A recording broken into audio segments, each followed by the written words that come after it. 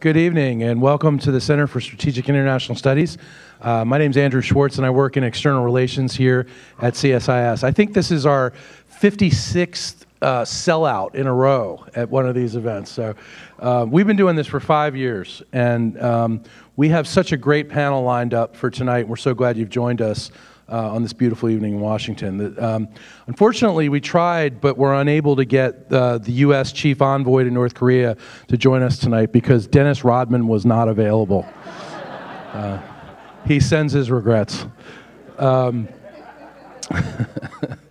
all joking aside, uh, America remains intimately involved in the conflict uh, between the two Koreas, the ongoing. Um, the point is certainly not lost in the families of the 30,000 American men and women who are serving um, overseas in, in the Koreas. Um, I'd like to thank Bob Schieffer and everyone at the Bob Schieffer College of Communication at TCU for their amazing partnership in bringing these dialogues to CSIS.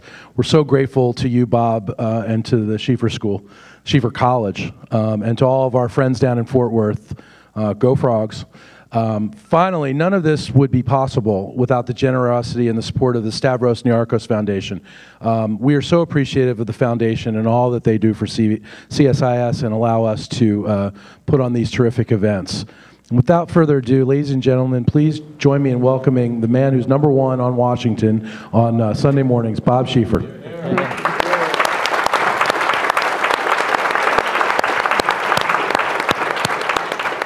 What I always say about that is one Sunday at a time. We were number one last Sunday, and we hope we'll be number one this Sunday.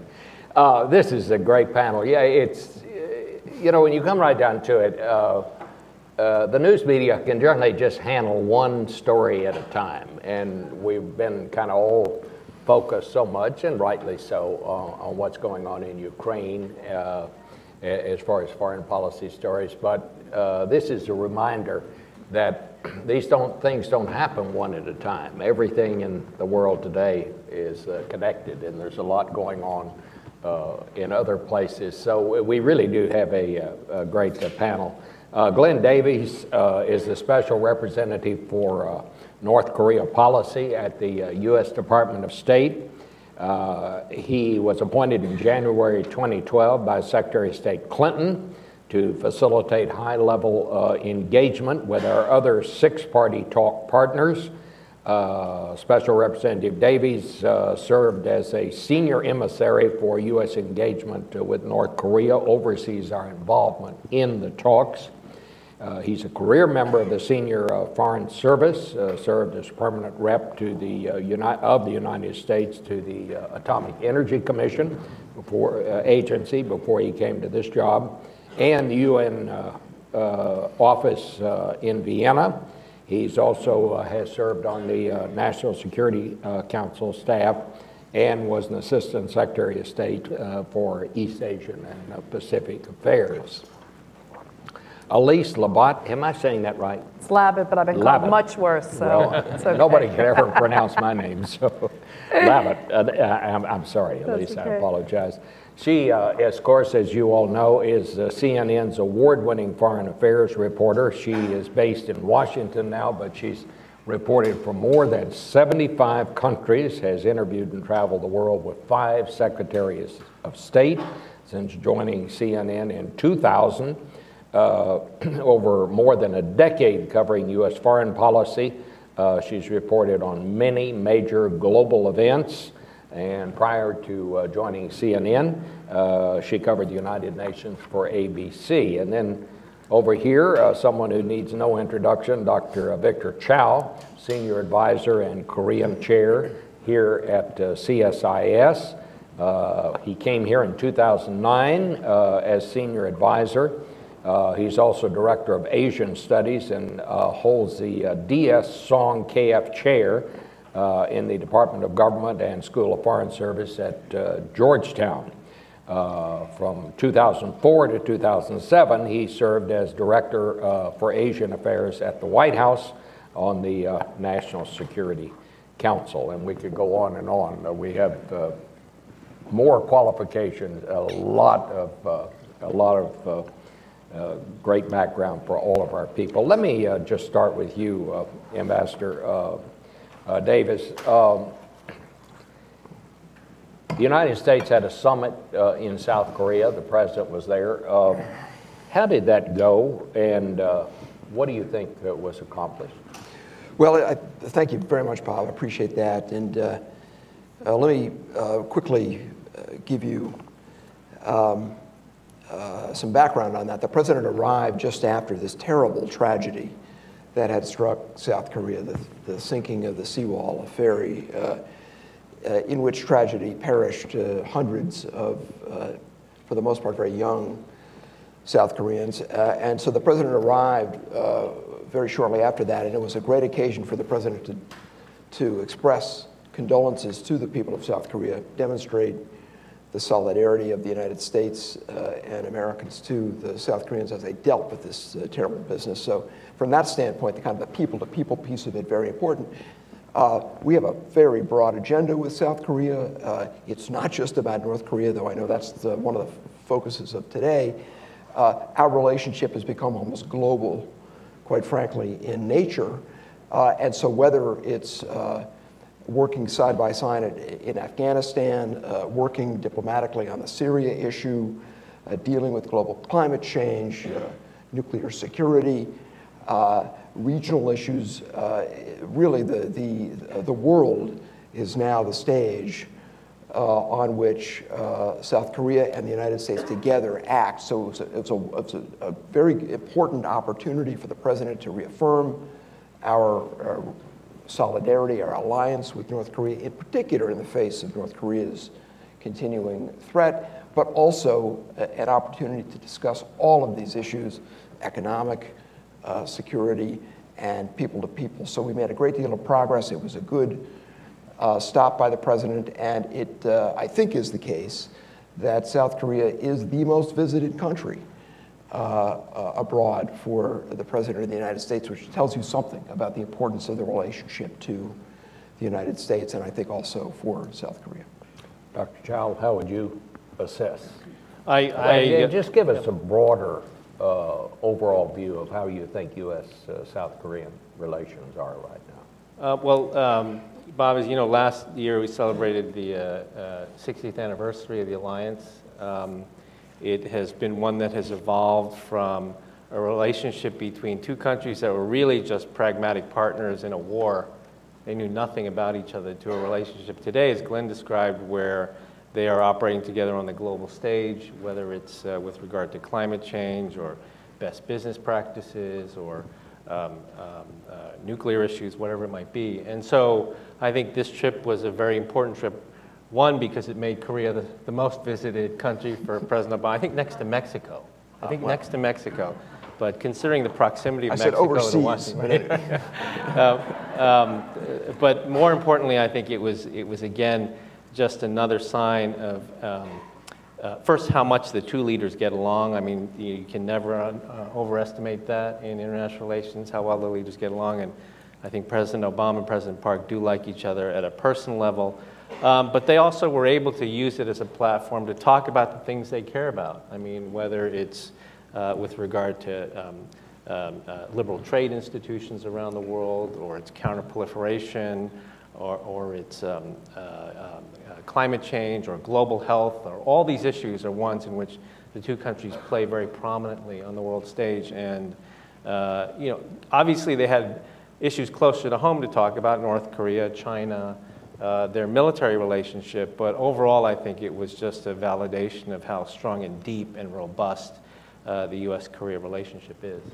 Elise, what do you think are the main challenges to this relationship right now? Well, I, I, see two things, and one of the things that, that came out of the summit, I thought, was um, that yes, everything is true what, what Glenn and, and Victor say, and I'm, and I'm honored to be on the panel with um, two of the greatest minds in this town on North Korea, but I think that I look at the relationship between South Korea and, and uh, the United States like I kind of do with the relationship with India or India is a global power. There are a lot of ways that the US is cooperating with India, whether it's trade, whether it's counterterrorism, um, economically, people to people exchanges. But the relationship between India and Pakistan and, and what's going on in Afghanistan really dominates how people see the relationship. And I think that even though all these things are true and the US and South Korea have a very robust relationship, you're never really able to transcend the idea that when the president goes to South Korea, what is coming out of it? What is making those headlines? And that's what's going on with North Korea. And I think North Korea really plays upon that. I also think that the tensions between uh, Japan and South Korea um, really, in, in, some ways, have, have hampered um, the US, Japan, and, and South Korea alliance from, from really uh, taking off, at least right now. Um, you know, obviously South Korea very upset with you know, Japan continuing to uh, believe in its colonial, uh, pre-colonial aggressions, and um, there have been a lot of insults flying back and forth. And for the United States, who wants this, this cornerstone alliance to really help the US with its so called pivot to Asia, which we've heard a lot about the pivot to Asia, but we don't see a lot about the pivot to Asia. And I think that has hampered. And the United States, President Obama has tried in recent months to get you know, uh, South Korean and J Japanese diplomats together on a lower level. He hosted a summit between uh, the leaders of Japan and South Korea in The Hague in March before he traveled out to the region. And he's trying to say, listen, you guys have to get rid of your old baggage. We have to move forward, and this trilateral alliance is really the cornerstone of what we're trying to do in Asia. We'll talk about that. I'd like to hear both of you and what your thoughts are on that. Well, I mean, I would, I have to agree with Lee. I mean, you know, many of us in this room are, have, have been or are alliance managers, you know, working the U.S. Korea, U.S. Japan, whatever alliances. And, and it is frustrating at times when uh, there's a very successful summit. You know, they make progress on missile defense. They make progress on wartime OPCON. They make progress on a bunch of different things. It's a great relationship. You know, they're unveiling a new global health security plan. And then all everybody talks about is North Korea, right? North Korea kind of steals all the thunder and, and really sort of pervades, you know, the, our, our, thinking about the Korean Peninsula. And so I think that's a real challenge. It's a real challenge for the alliance relationship uh, and I think um, for that reason, Park Geun-hye has really tried to talk about um, what Korea does itself on a global stage and doesn't allow simply the North Korea story to grab all the headlines. Well, what about North Korea right now? Sure. Well, uh, we're at an interesting moment with North Korea. I mean, I think the North Koreans are um, uh, acting in a kind of highly improvisational fashion. Uh, it's difficult to detect uh, any real thematic consistency there, except that they seem to be always defaulting in the direction of provocations and, and, and threats and unable to sort of uh, sustain uh, any more kind of positive outreach to, to the outside world. And that's a, that's a huge problem. They are, of course, we all know, it's in the headlines, they are uh, issuing threats right, left, and center. They're attacking the president of South Korea on a very, uh, what's the Latin, ad hominem basis, you know, a very personal basis. Uh, they well, they're attacking uh, President they're Obama. They're attacking President on, Obama. and even in the and, uh, exactly. So language. So it, you know, it's some it's sometimes difficult to divine what it is uh, North Korea ultimately uh, wants. The central challenge that I face in trying to deal, in particular, with this nuclear problem, is how do we set up a diplomatic process going forward that can deal with what is the central problem, which is North Korea's acquisition of nuclear weapons and missile technologies, which threaten the, the uh, region, certainly, uh, but also uh, threaten the world. So uh, it's difficult to do. We spend a lot of time, I spend a lot of time in North Asia with the Chinese, with the, the South Koreans, the Japanese meet with the Russians because they're part of this process as well. And we've made a lot of progress in terms of talking about what, the, what it is we'd like to see happen. Uh, where we're uh, still uh, working is to decide exactly how that roadmap works. And of course, you always have in the background, as has been pointed out, North Korea trying to pull focus, uh, provoking, threatening, launching rockets of various ranges. Um, uh, issuing uh, challenges to South Korea and to Geun-hye. For me, one of the most impressive actors in, in this entire tableau is this still relatively new president of South Korea, who seems to have a really excellent feel for the problem and seems to understand how best to try to get at it, despite uh, North Korea's uh, recalcitrance. So, remains a work in progress. On the nuclear piece, we've been at it for 25 years. Uh, I think Victor himself has written eloquently about the challenges that various administrations have faced in uh, getting at it, and I just happen to be the latest guy kind of carrying the ball at, let's call it the senior working level. Uh, but I remain optimistic. I think there are ways to get at Well, it. uh, you know, they were saying they were going to do another test here. Right, And right. then they kind of postponed that. Uh, uh, Right. Some people say maybe they wanted to wait till the news kind of quieted down before they do that. Is that, Well, also I think that you know they know that the South Koreans are really diverted with this ferry disaster, and so they, it, you know, what we've seen is that the North Koreans want to have maximum bang for their buck, if they say. So, so when you say that the news dies down, not only the news about the threats about their possible test, they do like to keep everybody off guard, but they also want to have maximum attention. And so if there is a big crisis in Ukraine, or there's this thing with the Nigerian girls, I mean, we talk about the fact that you know North Korea is this isolated uh, place. But you can rest assured that the leaders of that the leader and his um, cronies um, definitely are watching the news, um, the news climate, and, Right, and they yeah. want to make sure that if they're going to do this, this is going to have a, this is going to have Nor- uh, South Korea's full attention. And, and right now, I don't think, I don't think they, they do. I just want to answer um, what what Glenn was saying about you know, what do what do the Nor- we don't really know what what the North Koreans are, are up to in terms of the do obviously denuclearizing North Korea is the biggest problem that um, the U.S. and its allies face in the region. But I, I think possibly in their quest to really go after the denuclearization, they're, they're not figuring out what the North Koreans really do want. And if he loses his, his nukes, um, what is the most important thing to, to Kim Jong un? No one really knows about this young leader, but they know that regime survival is the most important thing.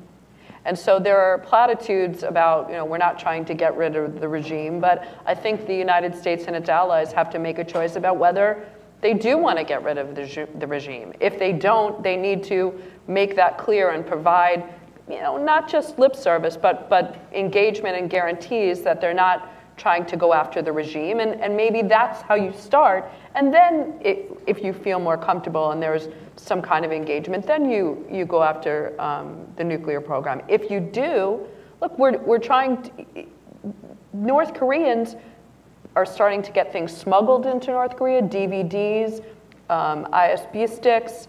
They're learning more about the outside world. Eventually, that country will topple. And the United States has a lot of activities that we've been reading about in Cuba and other countries that they could help in this regard. So I think we've this tendency to focus on the nuclear issue, but maybe we've had this myopic focus and it's, it's not really working. but uh, I, I'm, I'm interested in this. I mean, would they really be, uh, I don't think sophisticated enough, I think that's the wrong word, but would they be following the news so closely that they'd say, we're going to wait till we have a good slow news day before we're going to do this Well- nuclear test? I mean, that, because yeah, that's obviously yeah. what the- has been suggested by I think some. the answer is yes. Yeah, well, I think, you know, well, part of it, I think, part of the answer, I think, is yes. I mean, I remember um, when I was working on this issue with the White House, um, they did, still to date, their largest series of ballistic missile tests on uh, basically July 4th. July 4th. Yeah,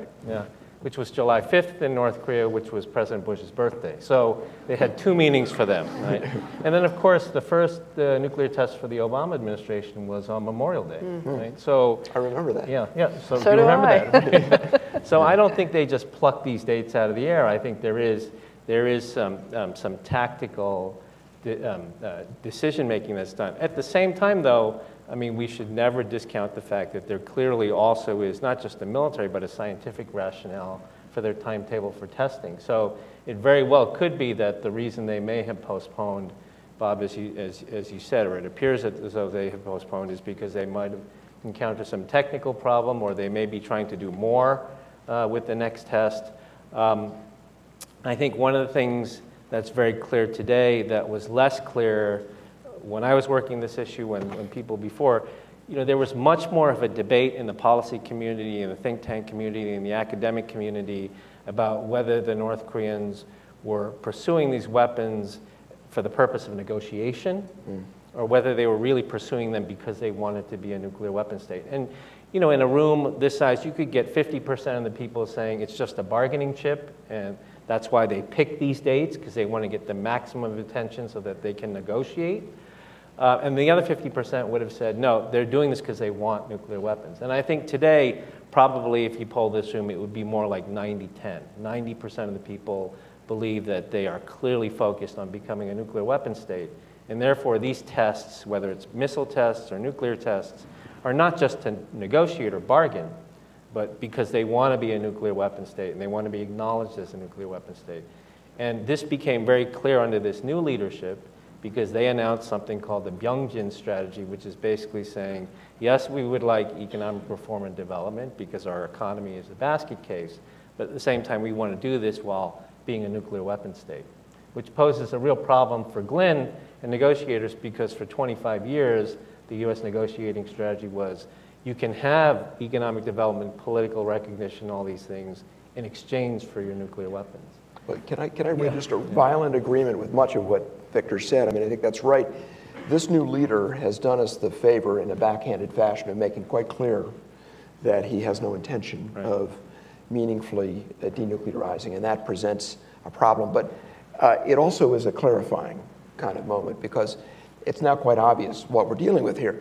A clarifying moment when he decided to purge and execute his uncle pretty much on YouTube, all except the execution part, uh, which we labeled instantaneously. We said this was uh, this demonstrates the brutality of the regime. It was kind of like we X-rayed. We, we, we all saw what uh, North Korea is all about, and we haven't just concentrated on the nuclear issue, even though that's what I am paid to worry about uh, every day.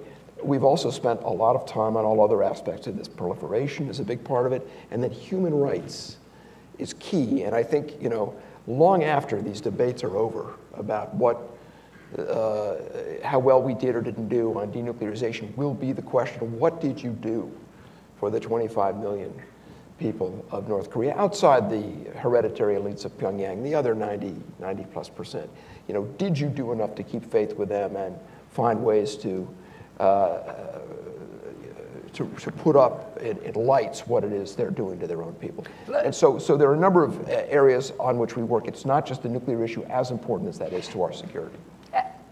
There is an envoy for human rights that you know once in a lifetime gets into North Korea and is able to have some meaningless discussions. I mean, the North Koreans are not interested in, in what anybody thinks about their human rights record. I mean, this is the way that they maintain control over their people. I'm just wondering whether you know, there is another way of, of um, approaching the problem. Even though that is true, we, there's human rights, there's proliferation. The main concern of, of this administration is, and, and of the allies, is, is the North Korean nuclear program. And, and it, basically, isolation isn't working. The sanctions continue to leak. Um, I mean, how, what is the administration's strategy? It seems as if there's a kind of crisis-oriented, um, fragmented way of, of dealing with the problem. You know, it, it's kind of, I'm not, Glenn obviously is working hard every day and having meetings and, and traveling, but it's, it doesn't, it's not clear to the outside world what the, what the strategy is for our, is the, the six-party talks, are they gonna bring them back? Are they going to have another round? Are they going to try again? Is there a way to reach the leader? I don't think that um, that's really clear. And I also think that I think maybe the media is responsible um, and the academics are responsible. That that in a way, this is a this has become yes, it's a, a crisis, but it also has become a little bit of a sideshow. Well, what is? well, Korea. let's uh, let's just talk about that. What what is the strategy? Well, the strategy is to ensure that uh, starting with the three allies, uh, but in this case, because the problem is on the peninsula, particularly the Republic of Korea, extending out to the five members of the six party talks, uh, we call them our partners, there be as great uh, unanimity as, as we can uh, achieve on what it is uh, North Korea must do. We've made great progress on that. Uh, sadly, a lot of diplomacy does have to happen behind the curtain. Uh, a lot of our talks with the Chinese were not in the business of retailing to everybody, as tempting as, that is. As that much is. as we try. As much as you try. Uh, but we have uh, achieved a level of success in hammering out what it is we need to see happen. The problem becomes in working through what we'd like to call the roadmap, uh, which is the how and the when of North Korean denuclearization. And the truth is, no secret, that the interests of the five parties are not perfectly congruent. Just the, that's just life uh, in the North Asian uh, mix. And so while the Chinese are mostly seized of the problem of stability, uh, because this is uh, on their periphery, uh, we uh, are mostly concerned with the problem of security. And so the argument we've sought to make to the Chinese, and I first did it back in December of 2011 on my first trip to Beijing, uh, is to point out to them that their so-called stability concerns and our security concerns really are kind of converging as the North Korean weapons of mass destruction program and their bad behavior, their provocative behavior continues. Uh, and it's, it's on that track of seeking a common appreciation and a common uh, plan for the way forward where we've made a great deal of progress. But we're a quarter century into this, as Victor's pointed out in many of his writings. We, uh, you know, this wasn't done in a day, and as President Obama pointed out in Seoul, uh, you know, this will remain uh, a problem uh, of which we are seized in the United States government. I'm an optimist. I actually think there's no solution to this except a diplomatic solution. Well- and I think we'll find a way forward, and I think we're making some progress. Do you see the six powers uh, talks restarting? I mean, it's been a while, right? That's, you know, uh, that's up to North Korea. It won't surprise you to hear me say, because North Korea needs to decide whether it wants to go down this path, rejoin the international community, live up to its obligations uh, and its uh, promises, its responsibilities, or does it wish to continue to isolate itself, uh, seek to go its own way, acquire these technologies in, uh, in contradiction to the uh, worldwide consensus. Remember, most widely subscribed treaty in the world, uh, uh, pretty much, the Non-Proliferation Treaty, the result of the mid-20th century consensus among some very wise statesmen and women who decided we need to come up with a nuclear bargain to prevent the world from facing a couple of dozen nuclear weapon states by the end of the 20th century. Most of the bright lights of the 50s and 60s believed that by the end of the century we would have dozens of countries with nuclear weapons. We didn't. Why didn't we? Because they set up this regime, the Non-Proliferation Treaty regime, the IAEA. It actually worked uh, to a great extent, and we didn't have that kind of breakout. But there is one country among the 189 or so, one country signed the treaty, walked away from it, tore it up, the only country on the face of the earth that's exploded a nuclear device in the 21st century, it's North Korea. So this isn't a US North Korea polemic, though we will live up to our responsibilities. It's about the entire world community uh, uh, keeping up the pressure on North Korea. It's about China, uh, Russia, the United States, Japan, Korea in the first instance, but it's about everybody else as well, uh, both in the region and, and overseas, because in a globalized world where, when you Google how to make a nuclear weapon, you get whatever it is now 14, 16 million hits. This is serious stuff. And this is the vision the president laid out in his Prague speech. And North Korea becomes a particular challenge that everybody, all nations of the world need to work on. South Korea, the Republic of Korea, has been particularly valiant on this front. They seized on that idea. They hosted the second nuclear security summit. They get it. Uh, more and more world leaders do. 80 countries and international organizations condemned North Korea for their last nuclear test. So that coalition of concern is growing, and that's what I think at the end of the day is going to make a difference in Victor, let me ask you this. Uh, We knew almost nothing about this young man when he became the leader of North Korea. Have we learned anything uh, of significance about him since he came there? Uh, well, he likes Dennis Rodman. he, uh, Do we know why? I, He I, watched a lot of basketball. yeah, His father likes also liked basketball. He, I mean, so th- stylistically, there there are big differences Yeah. from the previous leaders, and in a sense, in, in that sense, I guess one could argue that he is more attuned to Western uh, Western things and, and, and clearly shows an affinity for them. Um, uh, but you know, what we know of him is largely what we know of North Korea, which is very little. And so policy often is reacting to the behavior rather than trying to figure out you know, what, uh, you know, what is driving the behavior. And you know, one could say that's a flawed policy, but when you're talking about the hardest intelligence target in the world, uh, at the policy level, you, had, you don't have much of a choice but to react to what the behavior is. And, and I think for that reason, the administration, rightly so, has focused on, you know, when they did change leaders, has focused on, look, we don't care who's in charge, we care about the behavior. And, and when we see good, when we see um, good behavior, genuine commitment, we're ready to engage. I think that makes sense. Um, you know, I, you know, I with Glyn, I think, you know, I, di diplomacy is the only way to resolve this. No one wants to see it uh, resolved in any other way. Um, uh, having said that, I, I do think, and I was a part of the six-party talks, part of the 2005, 2007 agreements.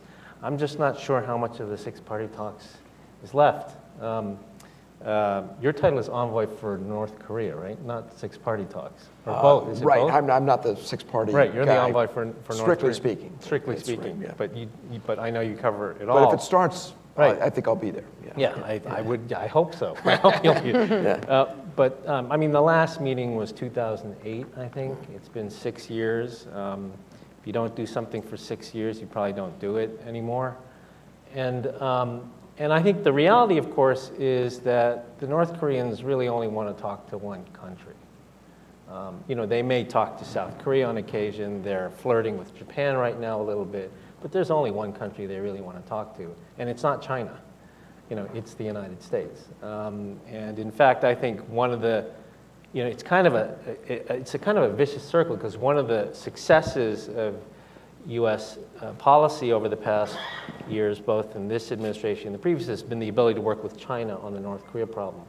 But the closer that we work with China on the North, North Korea problem, the less the North Koreans want to deal with the Chinese, whether it's in the six-party format which they host, or whether it's in a bilateral well, fashion. Uh, that's interesting. What, what do they want to talk to us about? I mean, uh, well, I mean, so I think their talking point is that uh, you know they would like normalized relations with the United States. They would like a peace treaty. They'd like economic assistance. They'd like to be removed completely from all the sanctions going back to the Korean War, all this sort of stuff. Um, the problem is in exchange for what? Yeah. And, and I think uh, whether it's this administration or the past administration, if they were genuinely committed to putting their weapons on the table anything is possible. I would say that was, that's the case for this administration, at least my reading of it. I would say that was the case for the past administration, contrary to what people might, might think. Uh, the problem is, is that you know, North Korea essentially wants to have its cake and eat it too. It wants be recognized by the United States. It does want a peace treaty. It wants all of these things.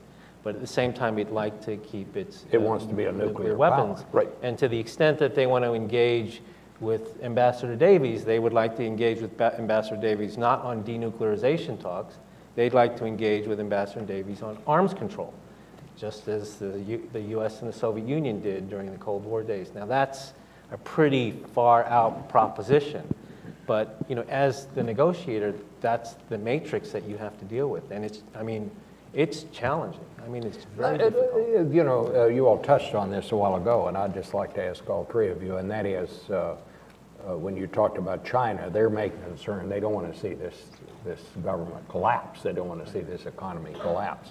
What is the state of North Korea? Is, is that likely that this whole thing might just fall in?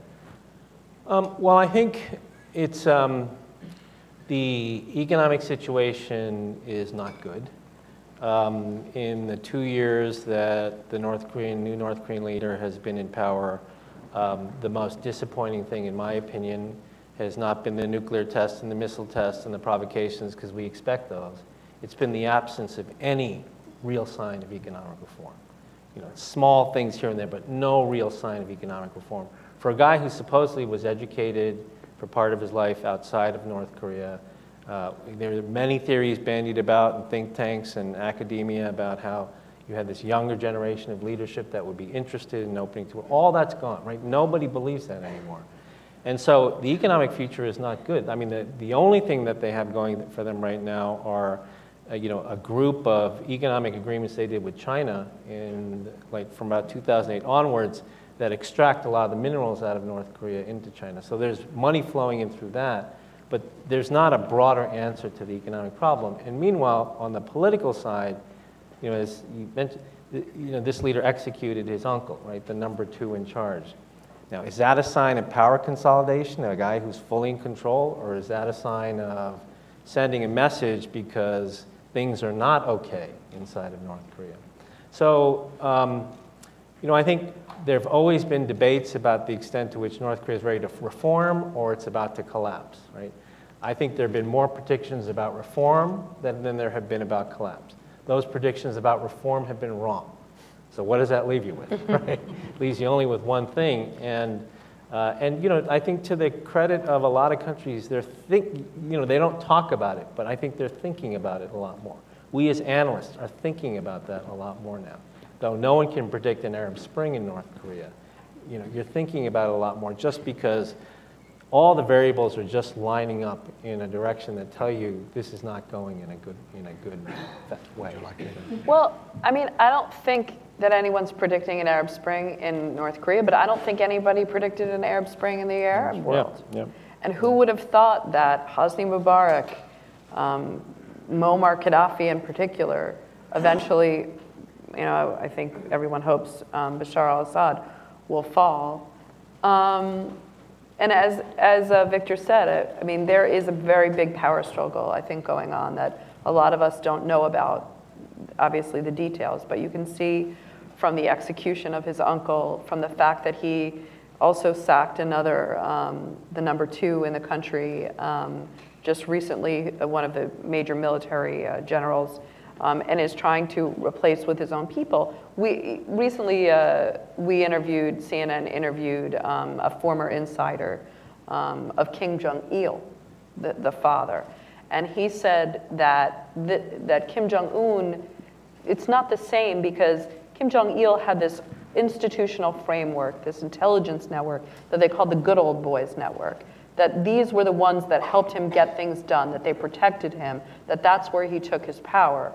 Um, and it built up over his life. But Kim Jong un doesn't have power that he earned or that he earned any kind of respect. He was given the power symbolically. And that, that this gentleman said, well, he may have friends in you know, Swiss boarding schools, but he doesn't have any friends within inside North Korea. And so as he continues to purge, he has even few people to stand by him to help him get things done. And as North Korea, even though we call it the Hermit Kingdom, it is opening up in the sense that some people are watching the inter- looking at the internet, watching Western films and South Korean films. I mean, eventually this will continue to permeate. And as that continues to rise and Kim Jong un's power continues to, to fall, I think, as he has less and less people around him, I, I think we, we have to predict some kind of um, collapse at some point. Really?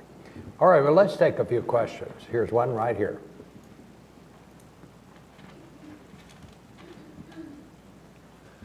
Uh, Mike Mosettig, PBS Online News Hour. I want to focus this back to the South. Uh, they have been through a terribly traumatic experience, which has revealed stem to stern failures in society and government from regulation to the inept performance of the Coast Guard.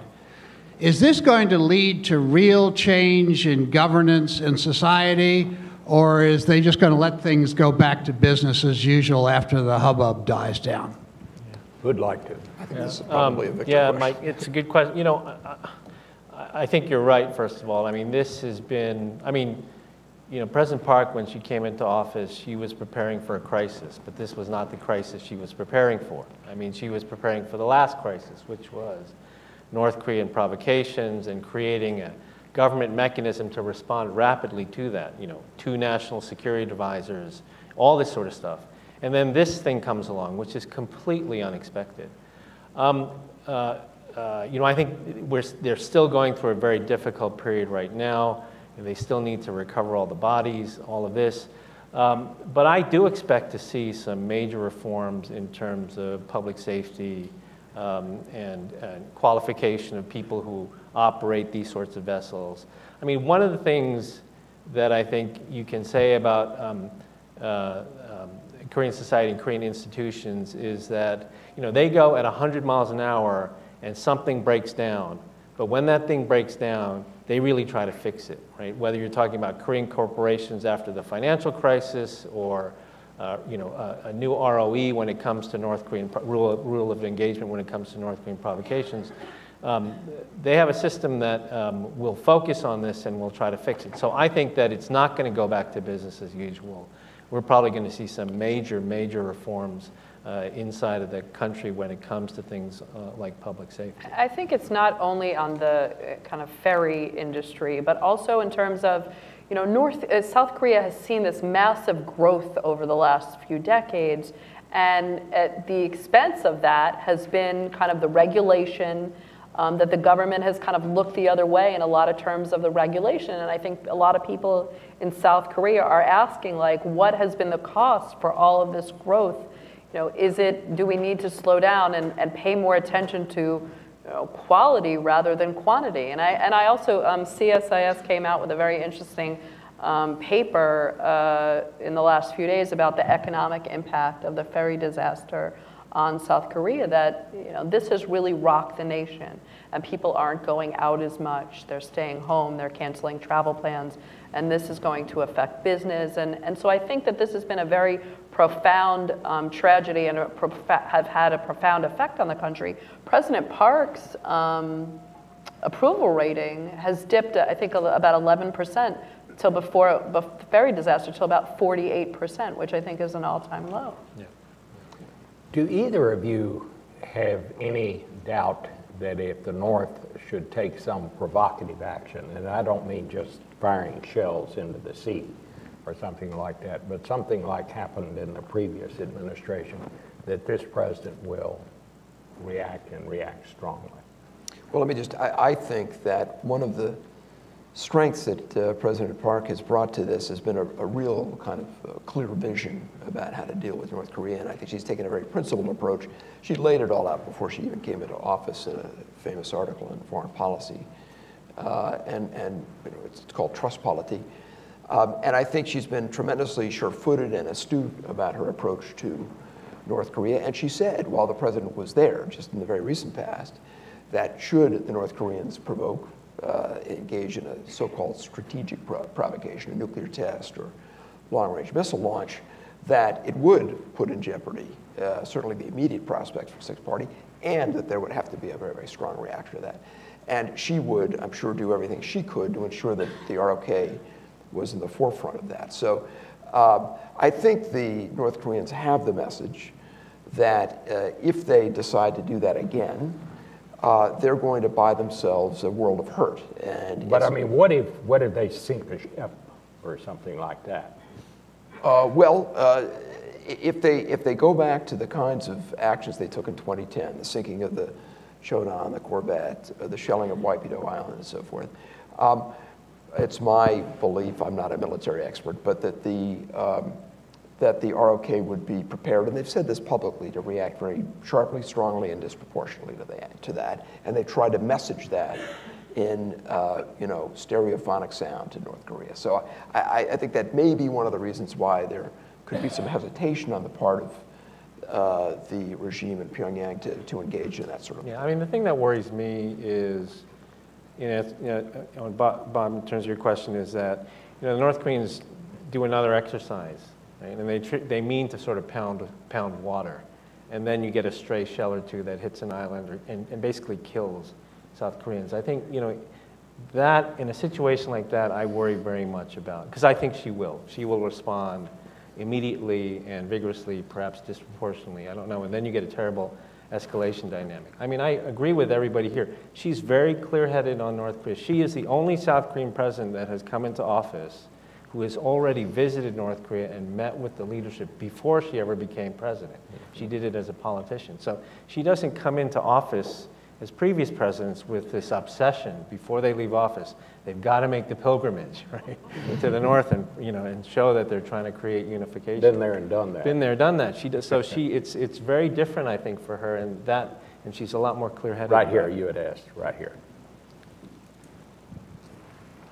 This spring, the UN Human Rights Commission came out with an unprecedented report about human rights uh, in, in North Korea, including unbelievable descriptions of concentration camps indistinguishable from Nazi Germany or Pol Pot. And um, I'm trying to figure out why you news guys haven't shined a light on that. I mean, even if these nuclear weapons are bargained away, those camps will endure. And the ultimate atrocity would be to offer this regime some guarantees of non interference, of preservation. That would be the ultimate human atrocity. Why can't we get you guys to shine a light on that report? Well, I'll it turn was right just, to Elise. to answer you can take it if you want, but um, it's really hard to get into North Korea. I, I, I'll be completely frank. It's much easier to report about North Korea and the human rights abuses outside of North Korea. Once in a while, we're lucky and we'll get a defector that comes out. Um, a lot of times, we'll, you know, we'll, if, if journalists are allowed in the country, you have a minder. talking about the report itself. I, I think that there was some, I mean, clearly not enough, but as Bob said in the beginning of the, um, beginning of the uh, session, you know, a lot of times international news kind of is dominated by the news of the day. I'm not, I'm not disagreeing with you. I'm just saying that that's a reason why it wouldn't, if it was a slow news day, maybe it would have gotten a lot of attention. Recently, um, you know, we did something, we, you know, we a lot of times will use that as an opportunity to take a look at a lot of things. You had these drones over the last week that were found in South Korea that were believed to be from North Korea. You had these racial slurs that were coming back and forth um, about President Obama and President Park. And then we used that to look in the Human Rights Report. This was around the time that a French photographer um, was able to smuggle some really shocking images of, of you know, the famine and, and widespread um, damage to infrastructure and everything that's coming out. It is really hard to report on North Korea. Um, we should do more we kind of do talk about the human rights as a kind of on the periphery of what's going on with the security challenges. Um, it, it is a challenge. I'll, I'll, I It's, it's a valid criticism, but, you know, it's a criticism you can always make. There's always some story that we ought to be giving more attention to that for one reason or another, uh, we're not able to. And And- right now, I mean, eh, we're just so overloaded with, with news about other things that, that that hasn't gotten the attention that I think you're right. If, if I could just say, though, I'm sorry, Bob, but, Yeah. but the President of the United States did talk about this. I think this was a landmark report done by Justice Michael Kirby, the Australian jurist who led the effort, along with a group from the international community. It was a great day when the UN Human Rights Commission in Geneva could get this thing launched. And uh, you may know some of the machinations that went into making that uh, possible.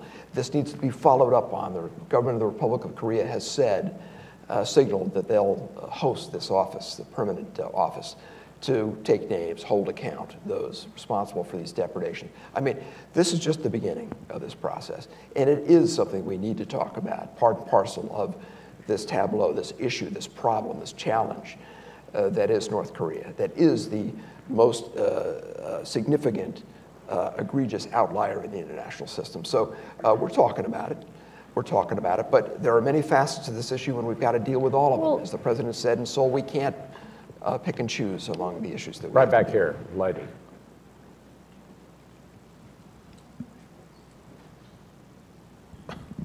Hi, Rachel Oswald, National Journal. Ambassador Davies, if you could just comment on um, possible uh, changes in U.S. policy toward um, returning to the six party talks. It had previously been stated that the United States needed concrete proof of North Korea's intent to permanently denuclearize.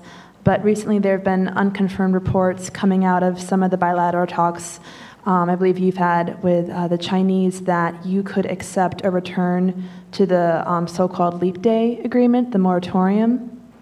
Yeah, Le- Leap, Leap Day is history. I mean, Leap Day was a valiant uh, attempt in kind of minor key to get at this problem and kickstart uh, six-party talks. It was never meant to, not even on paper. It was a declaratory deal uh, that we that we reached.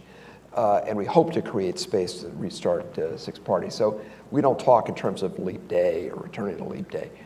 Um, we'll see about six party. It does depend on whether the North Koreans will make the right choice and move back in the direction of the five parties uh, position, which is that denuclearization, which is the bedrock of the six party process, the sine qua non of it, the centerpiece of uh, the September 2005 joint statement. You know, will they uh, accept the fact that that should be the premise to it?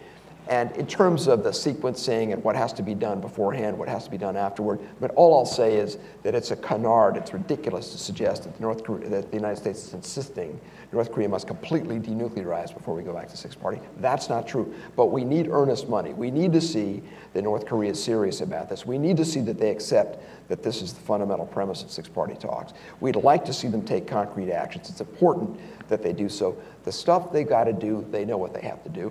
And what they do, quite frankly, in the initial stages would be perfectly reversible steps that they would take declaratory steps. So the fact that they're not interested in going back in that direction, the fact that they're not even interested in uh, resolving the cases of Americans who've been in prison in North Korea tells you something about their current interest in going back to multilateral diplomacy and six party talks. So our position hasn't changed, it's been consistent over five years. We're going to stick with it. We're going to stick with our partners, our allies, and uh, the other members of the five parties, and we're going to hold North Korea to account. That's where we are and where we'll be. How about on this side of the room? I, all right, right here.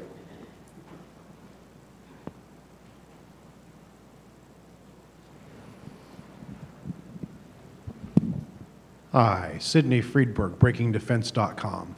Uh, the interests of the five parties are not perfectly congruent.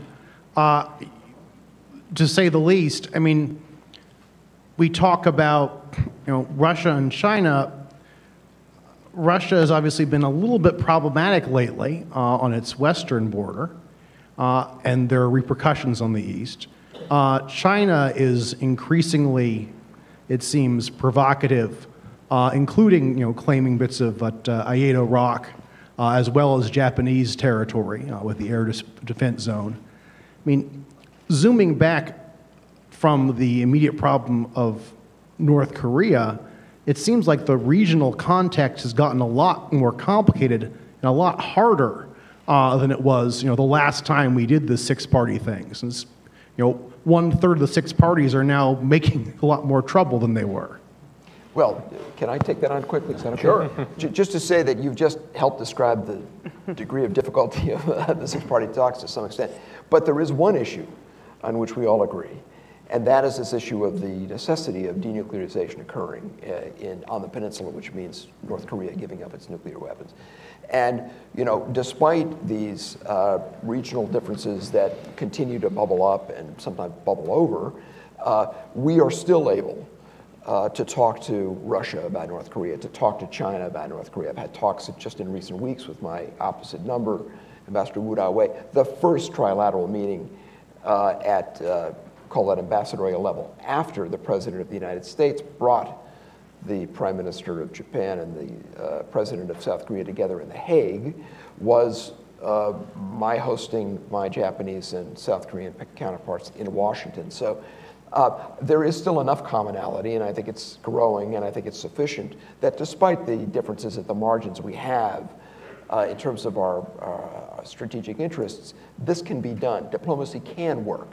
Uh, there is really no magic in it, but it does come down to presenting North Korea with a choice where it really only has one choice, and that is to go down the peaceful diplomatic path of denuclearization. That's what we're working on, uh, and I believe that someday we'll succeed. I hope I'm the guy, you know, who's around to see that happen. Uh, my father, who was a diplomat from the late 40s through 1980, Sovietologist, ended up uh, in Poland as our ambassador, retired, 10 years later, he saw the wall fall. I mean, this stuff takes time, folks. And the President of the United States tried to explain that in Seoul. Stuff's not self evident. It's uh, not easy. You got to use all elements of your national power military, diplomatic, uh, uh, your so called soft power. Uh, and you got to bring it all together and you've got to work your alliances and you've got to make your arguments and you've got to try to win people over to the notion that there is a better way forward and here's how it works and here's how you wherever you are, I don't care on what continent, can play a role in this thing. All right. So that's what we're doing. One more question, and this lady right here. Uh, Good evening, everyone. I'm Jennifer Chen with Shenzhen Media Group. My question is, under the current situation, what do you think that exactly the international community can do to help uh, the people in North Korea, and uh, especially on human rights issues? Sure. Thanks. Let me try that real quick, which is to send a strong, unified, consistent message to Pyongyang that they need to change their behavior and how they treat their people. That's key. And I think it's also important to tell other regional actors, including China, what they think about the situation inside North Korea. So you can bring about change, but it can only be if the world speaks as one voice and demands it. Can I just say, I mean, so I think it was mentioned, so the COI report is a watershed. I think that's a very important moment, a very important platform on which to build more international consensus, more international recognition of the human rights problem as being a major impediment to North Korea's um, uh, joining the world community. It's not just about nuclear weapons. And so, so I think the C- everybody should be pivoting, if you will, off the COI report. I will just say, as a last bit of it, that CSIS is going to be doing that. And, and soon, it, and very soon, we're going to be announcing, and releasing a new project that we'll be working on with regard to looking at what the practical policy implications are that come from the Commission of Inquiry report. So, just sorry, a little bit of advertising. All right, well, uh, on behalf of CSIS and TCU, I thank you all for coming. I learned a lot. I hope you did. Thank you. Good job.